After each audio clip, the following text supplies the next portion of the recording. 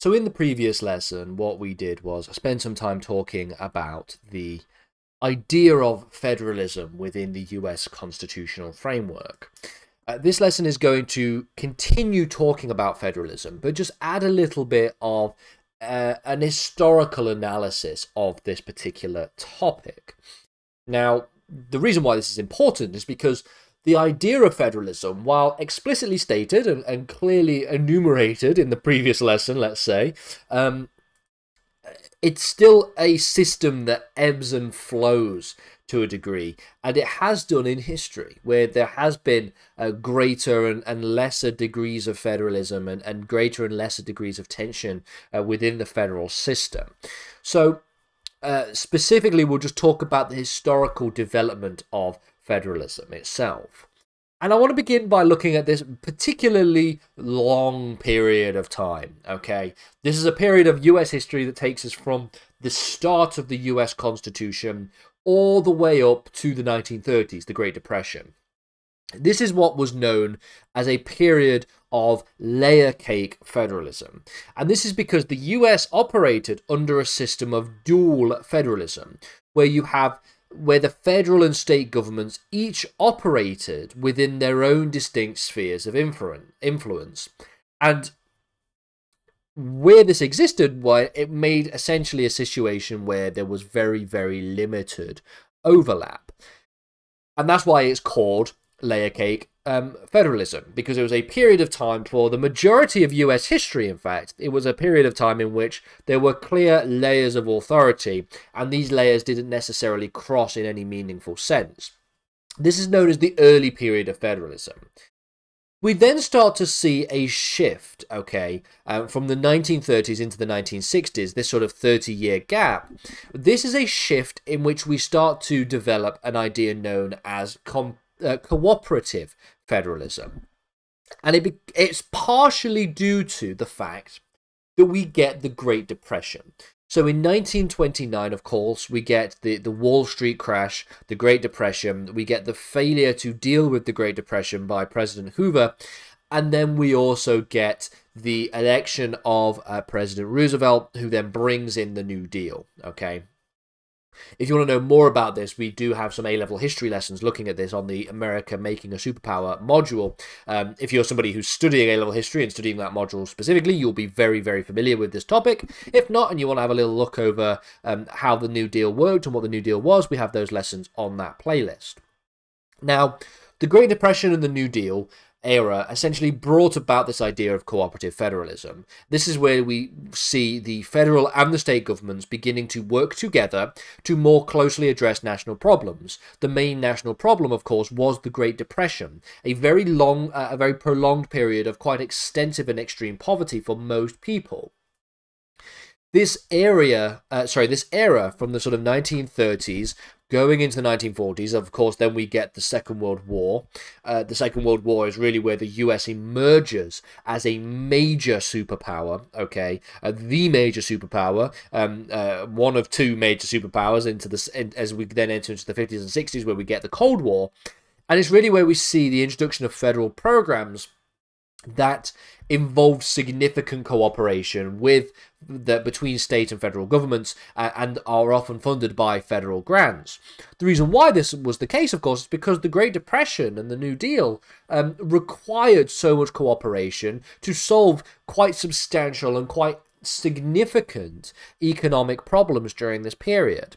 This period is sometimes described as uh, marble cake federalism, where the boundaries between the, the, the layers of the federal government and the state governments become more blended, become more blurred. And so we get this idea of a marble cake federalism.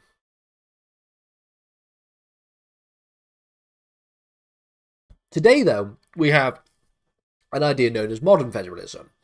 This takes us from sort of the, the 1970s into the present day.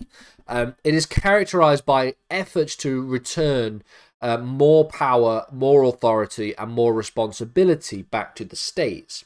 So, presidents like Richard Nixon, on the one hand, and then Ronald Reagan, on the other hand, advocated for a process of devolution in a similar sense of devolution that we get in the United Kingdom, where we transfer powers away from the central administration to, to, to more local administrations.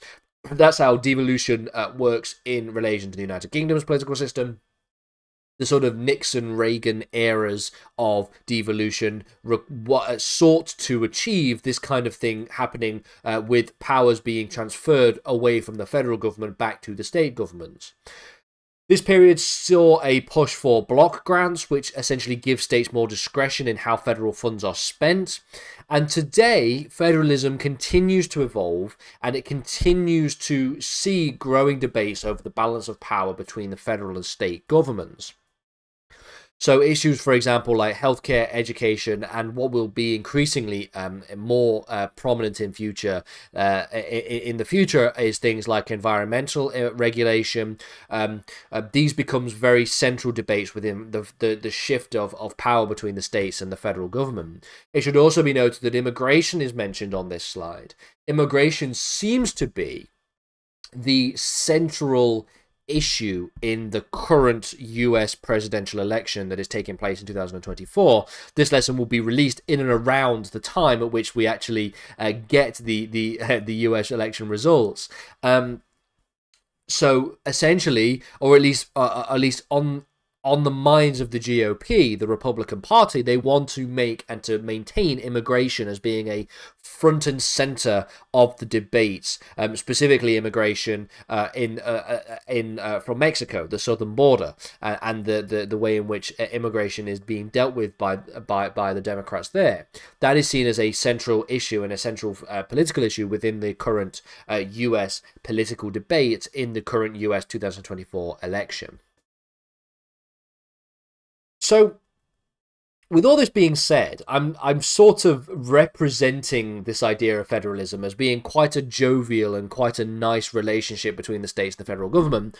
Um, but in fact, in history, throughout the history of the US, of course, there have been major tensions within federalism uh, and major tensions between the federal government and the state governments. Uh, numerous disputes about the extent of state power versus the extent of federal power, major conflicts and debates over civil rights, the regulation of commerce, um, and the administration of social programs of course, the most significant um, conflict that was uh, the the arising out of tensions between um, between states and uh, between the state and the federal government is, of course, the U.S. Civil War.